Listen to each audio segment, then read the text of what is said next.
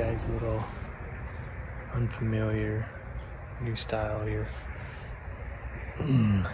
Going for the probably all day sit. And it's supposed to be 25 30 mile an hour winds out of the south here, gusting up to 50 today. And warm, unseasonably warm for Nebraska. But, so I decided to get out of a tree. We're sitting on the ground. See if you can see.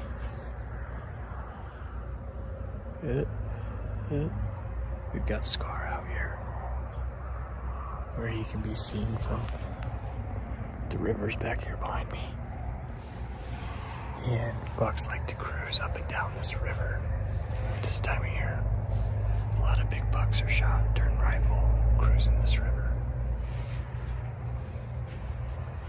We've got seven days till rifle kicks off, so this is the beginning of five days of really getting after it for me. And yeah, set up here, brushed into this thorn bush, this thorn tree. Really just gonna focus on that one shooting window. And hope that with the wind kicking up, and then his attention distracted by the decoy, that I'll be able to get away with a little bit of movement. It's gonna be wild. We've got seduction blowing from the Wyndscent stick over there. Should even be able to carry it across the river, bring anything over if they can get a whiff of it. And uh, yeah, if we get a shot, it's gonna be very right up close here, like 10 yard shot. So I need to sit real still until the buck comes in and locks on the decoy. Then I can move just a little and hopefully get a shot off.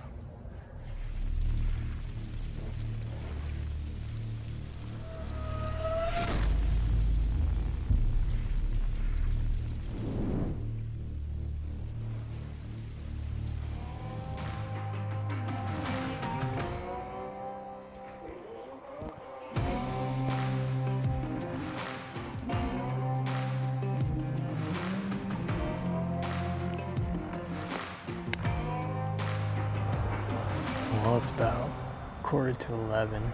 I've been back here for a little over four hours. Well, actually closer to five hours. Sun's been up for a little over four hours, so haven't seen any activity on this side in this area. But to be honest, all the times that I've hunted out in this property, no matter where I sit, uh, I don't really see any activity in the morning hours seems to always be in the evening. And I think the trail cameras would back that. I did get out and do a little tiny still hunt, I guess you would say, just up onto this bedding ridge to the northwest where I'm, I think big buck beds. Big one did last year anyway, and just kind of went just a little ways into there so I could pull a card and see there's any pictures. There's lots of trails cutting through there. And then came back, went a little to the east, just straight down the riverbank here, looking at how much prints there are down on the, on the river mud.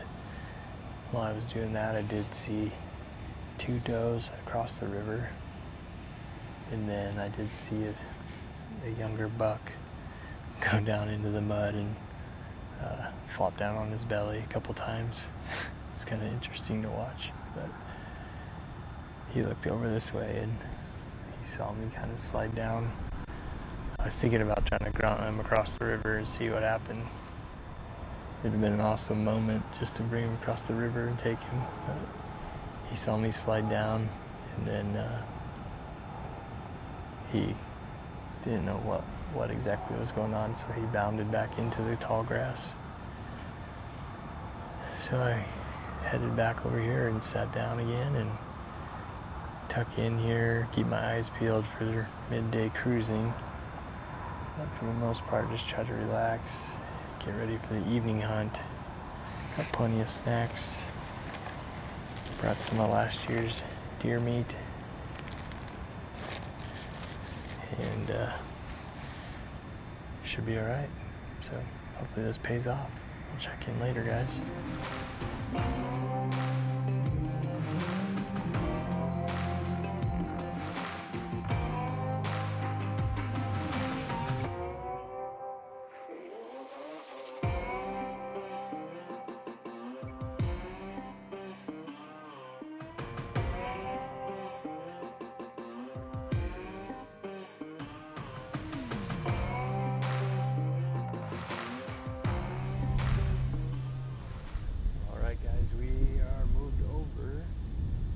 Into a tree on the other side of the property. Tree I was in last week. So I still had my hanging hunt set in this tree. And I didn't feel real good about where I was on the ground. I didn't, you know, as windy as it is, as you can tell, it's 20, 25 mile an hour is pretty steady with some gusting. And uh, figure with as windy as it is, they're not going to get too far from the bedding probably. And doe bedding is over here on the inside bend of this river, across the timber from me.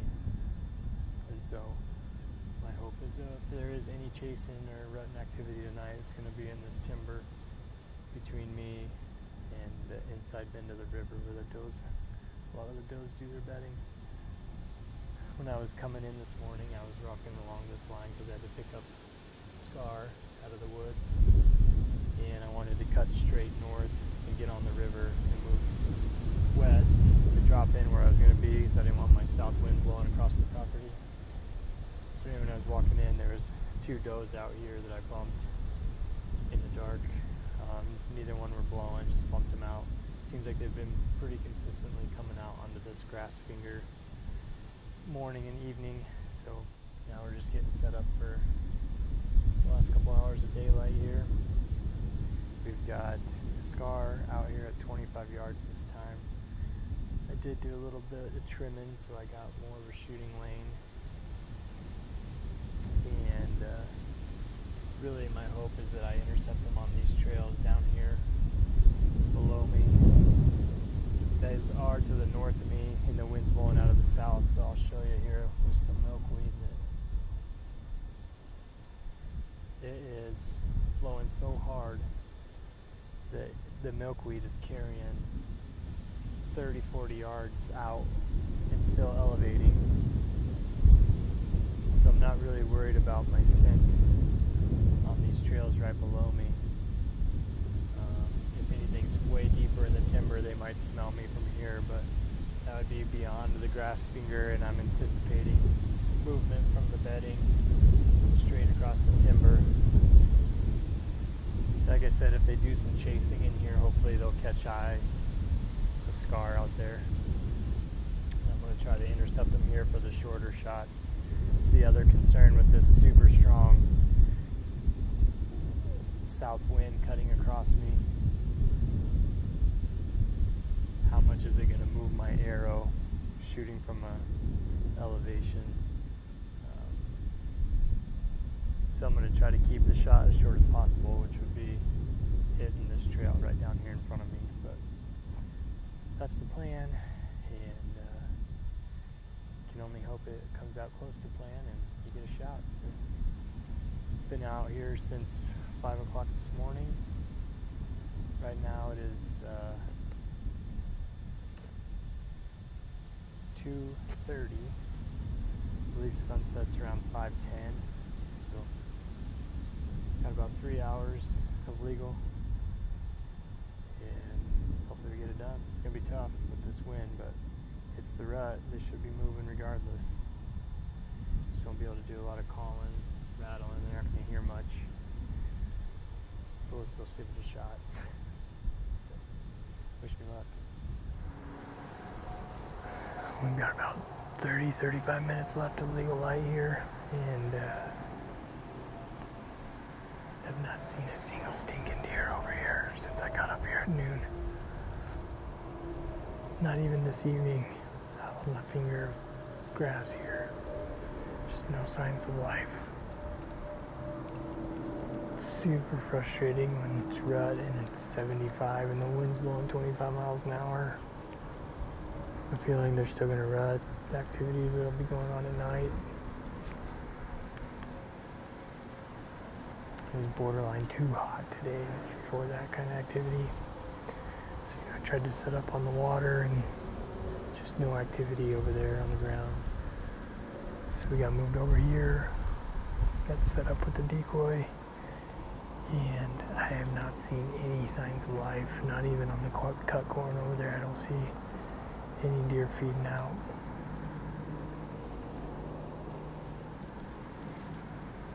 Well, still got about a half hour, so sit it out. Keep focused, keep my hopes up, I guess. Just frustrating. Gotta endure the frustration. It's part of the game, I guess, and uh, I know tonight I'm gonna be taking this whole set down. This is my saddle hunting set, and I need. I need this with me for running gun wherever I end up tomorrow or Monday. Probably won't be back into this piece till Tuesday or Wednesday. And there's snow on the ground and the weather's changed significantly. The cattle just came out yesterday, so give it a couple days and let them start to get comfortable in here and then come back in after there's snow on the ground.